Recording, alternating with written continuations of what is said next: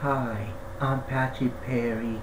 I'd like to show you the Wizard 1989 Wikipedia. I'd like to show you. Okay, this is called the Wizard Wikipedia.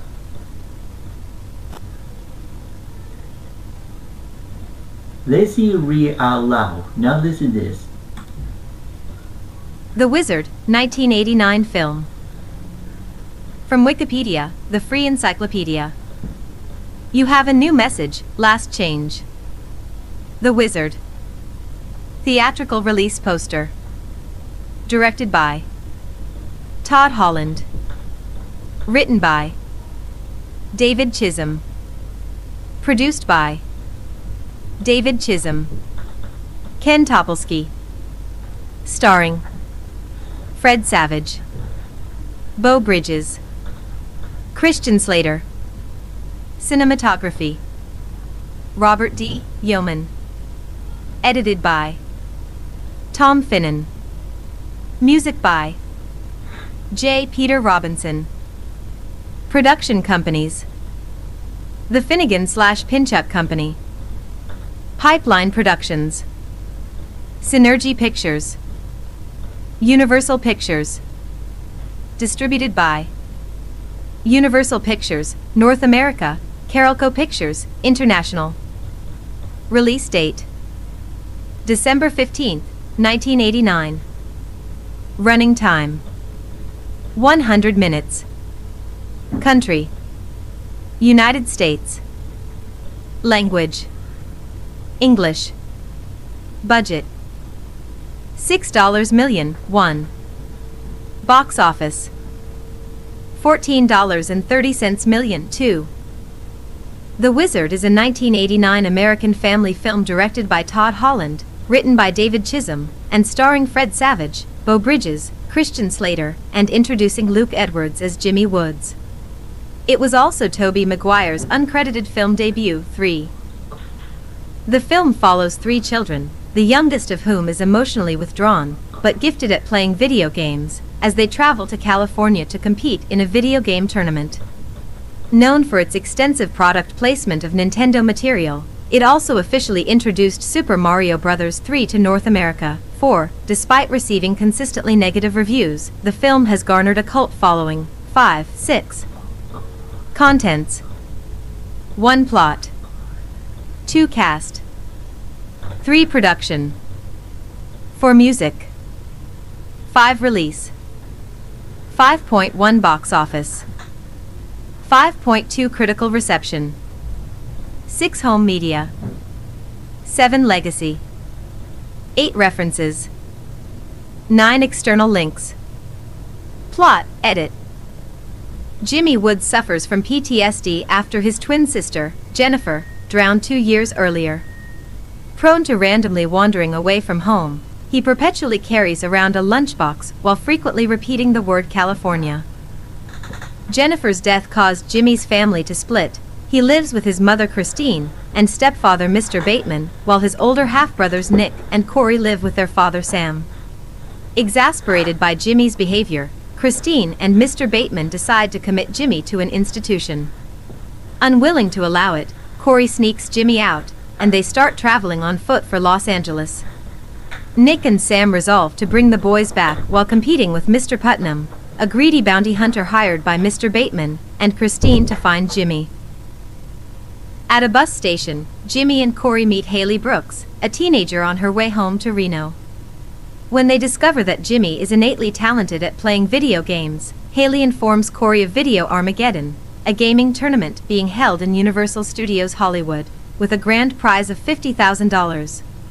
Corey sees the tournament as an opportunity to avert Jimmy's institutionalization by showcasing his talent, and Haley agrees to help take Jimmy there in return for a share of the winnings. The trio hitchhike cross country, using Jimmy's skills to win bets on games. They eventually meet popular, but snobbish gamer Lucas Barton, who demonstrates his ability to play Rad Racer with a power glove and informs Haley he will also be competing. Corey and Haley learn that Jimmy's lunchbox contains photos and mementos of Jennifer. The trio arrive in Reno, gaining more money, with help from Haley's trucker friend Spanky, whom Haley coaches to success at a casino's craps table. Jimmy then begins training on arcade machines with help from the Nintendo Power line. The children escape from Putnam to Haley's trailer, where she reveals she wants her share of the prize money to help her father buy a proper house. Putnam finds Haley's trailer and captures Jimmy, but Haley summons several truckers who barricade Putnam on the road, assault him, and rescue Jimmy. After Spanky drives the children to the tournament, Jimmy enters and becomes a finalist after playing Ninja Gaiden. In between rounds, Putnam unsuccessfully reattempts to apprehend the children. Jimmy, Lucas, and a third finalist compete in the tournament's final round, they have 10 minutes to score as many points as possible in Super Mario Bros. 3, a brand new game not yet released in the United States. Cheered on by his family, Haley, and even Putnam, Jimmy wins at the last second, earning the prize money. As the entire family heads home, accompanied by Haley, Jimmy suddenly becomes restless upon spotting the Cabazon dinosaurs, causing them to stop the car.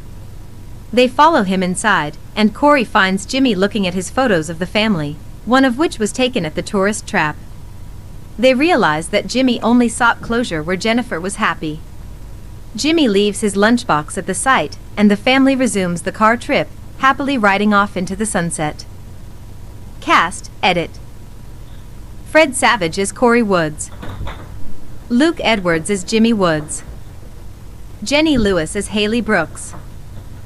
Christian Slater as Nick Woods. Beau Bridges as Sam Woods. Will Seltzer as Putnam. Jackey Vinson as Lucas Barton. Wendy Phillips as Christine Bateman. Sam McMurray as Mr. Bateman. Frank McRae as Spanky. Vincent Leahr as Tate. Beth Grant as Diner Manager. Lee Arenberg as Armageddon Registrar. Tobey Maguire, uncredited, as Goon. Dante Basco, deleted scenes, as Corey's friend. Production, edit. During 1988, a shortage of ROM chips and the preparation of a version of Super Mario Bros. 2 for the West delayed several of Nintendo's game releases in North America. The delayed products included Super Mario Bros. 3 and Zelda 2, The Adventure of Link, 7, the delay presented Nintendo with an opportunity to promote the game in a feature film. In 1989, Tom Pollock of Universal Studios approached Nintendo of America's marketing department about a video game film. Inspired by Nintendo video game competitions, Pollock envisioned a video game version of Tommy for younger audiences. Nintendo licensed its products for inclusion in the film. During production, the filmmakers were granted approval from Nintendo regarding the script and portrayal of its games. 8. Super Mario Bros. 3 was one of the products shown in the film, and was used in a final scene involving a video game competition. 8. 9. Despite the film touting itself as featuring the first public reveal of Super Mario Bros. 3. The game had already been released in Japan during the previous year, with US magazines such as Electronic Gaming Monthly and GamePro having already covered the Japanese version 10, 11, 12. Filming took place between June 5 and July 25, 1989, 1, in a 2008 reunion, 13, as well in an interview in 2014, 14. Todd Holland revealed that the original cut of the film was 2.5 hours long and included an extended backstory for Jimmy and Corey. The 1965 A64B Autocar Severe Duty cab over engine vocational truck that Spanky drives was previously used in the 1987 Sylvester Stallone film Over the Top. When the truckers box Putnam in on the road after he nabs Jimmy, Hawk Hauling, the name of Stallone's character Lincoln Hawk's company in Over the Top, can still clearly be seen on the driver's side door when Spanky opens it to exit the cab around the 57, 35 minute mark in the film. Following over the top and before it finally made its way into the Wizard, the truck was also used in 1988's Messenger of Death. After filming the Wizard in 1989, it went to sit on a universal backlot for years until it was called back into service once again, this time for the Lori Petty film Tank Girl, where it was repainted silver. A few years later it appeared in another science fiction film, again in its silver repaint. 15. In 2010 it was spotted for sale in truck jackknife stuntman George Sack Jr.'s California scrapyard. 16. When later interviewed for NintendoLife.com in early September 2009, director Holland admitted that he had some issues with the final script. I argued with the studio that we were shooting way too much footage more than we could ever possibly use. I lost the argument, and was told flat out by Universal to shoot the entire script. According to Holland, the original cut of the film was over 2.5 hours long, and that nearly an hour of footage needed to be deleted in order to make the film a suitable length for family viewing. The deleted material was finally released in 2020 on the collector's edition Blu-ray of the film. Most of the deleted footage comes from the original cut of the opening act, which explores Corey's home life in more detail, including deliberately antagonizing his older brother, his mother's emotional issues surrounding Jimmy, and her divide from her former family. Nick's alcoholism is also explored in more detail, as well as additional clips from the road trip scenes. Trucker Spanky gets more screen time in the deleted scenes also, explaining his role in more detail, and there are more clips from the final video game Armageddon contest. Music Edit Bodines, You Don't Get Much. Patsy Cline, Leavin' on Your Mind. Bodines, Red River. New Kids on the Block, You Got It, The Right Stuff. Real Life, Send Me an Angel 89. New Kids on the Block, Hangin' Tough. Martha and the Vandellas, Nowhere to Run. Paul Carrack, I Live by the Groove. Bobby Brown, Don't Be Cruel. Paul Anka, My Way. Sally Dworsky, I Found My Way. Release, Edit. Box Office, Edit. The Wizard debuted at number 5, 17, earning $2,142,525 in the domestic box office. 18. At the end of its run, the film had grossed $14, 278, 902, based on an estimated $6 million budget. The film was a moderate box office success, after which it became a cult film. 1. Critical reception, edit. The film received lukewarm reviews from critics. Multiple newspaper critics labeled it a feature-length commercial for Universal Studios Hollywood and Nintendo. Roger Ebert of the Chicago Sun-Times called the film a cynical exploitation film, with a lot of commercial plugs, and insanely overwritten and ineptly filmed. He later called it one of the worst films of 1989. 19. Washington Post staff writer Rita Kempley wrote that the movie was tacky and moribund, plagiarizing heavily from the 1988 film Rain Man. 20. On Rotten Tomatoes, the film holds a 29% score, based on 21 reviews, with an average rating of 4.5 out of 10, 21, on Metacritic.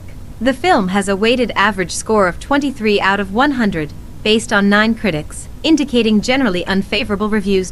22. David Sheff, in the book Game Over, 1993, called it less a piece of art than a 100-minute advertisement for Nintendo that millions of families paid to see especially for Super Mario Bros. 3. 23. Levi Buchanan of IGN, in 2012, called it a 90-minute Super Mario Bros. 3 commercial. 24. Despite the negative reviews, the film was still popular enough to achieve cult film status and to receive a reunion screening from Ain't It Cool News at the Alamo Drafthouse Ritz in Austin, Texas, on February 8, 2008. Director Holland and stars Savage and Edwards were in attendance to take questions from fans. 25. Home Media, Edit. The Wizard was released on VHS and Laserdisc three times, in 1990, in 1992, and in 1997. By 1993, The Wizard grossed $6 million in video rentals, 26. It was first released on DVD in Region 2 on February 2, 2001 and finally in the US and Canada, Region 1, on August 22, 2006. 27. The Blu-ray version was released on May 15, 2018, 28, and a special edition Blu-ray was released by Shout! Factory on March 24, 2020, 29, with a new 4K remaster, audio commentary with director Todd Holland, never before seen deleted scenes, and more 30. Legacy Edit On September 6, 2016, PAX West 2016 concluded with a replica of the Super Mario Bros. 3 tournament from the film. Well, we hope like my videos. We hope you like it. Well, maybe that's it.